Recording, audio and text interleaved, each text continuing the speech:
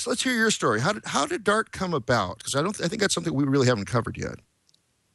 It's actually kind of an interesting story, right? Uh, so um, for a while, uh, I joined Google to uh, to help build the, the V8 JavaScript engine for for Chrome to try to make uh, client-side web-based applications run a lot faster.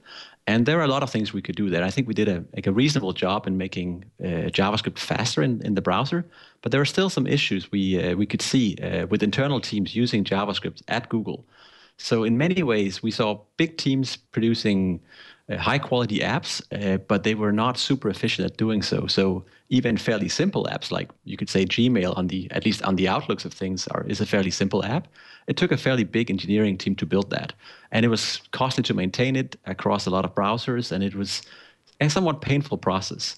So coming from a, a language perspective and a language background, it felt like that was an opportunity to try to produce something, a software stack based on a new programming language is just an inherently more productive environment to, to be in.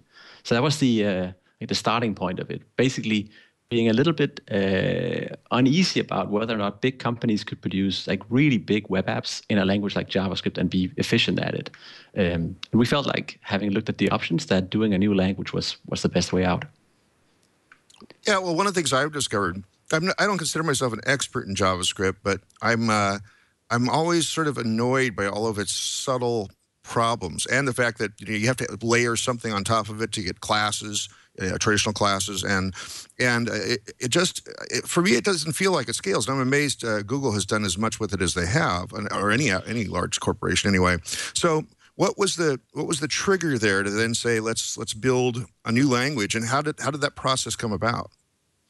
Well, I mean, most of the founding team here was uh, very much in the in the virtual machine space. Uh, basically, we gotten up in the morning to to optimize languages, and we also felt like there was a good opportunity to create something that was just a faster runtime system for um, for uh, for modern language. Um, so.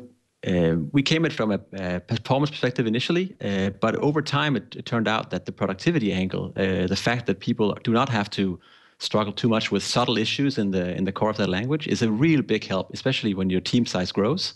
Uh, so we found that a focus on productivity and making people efficient at building big things was really, really uh, valuable and good.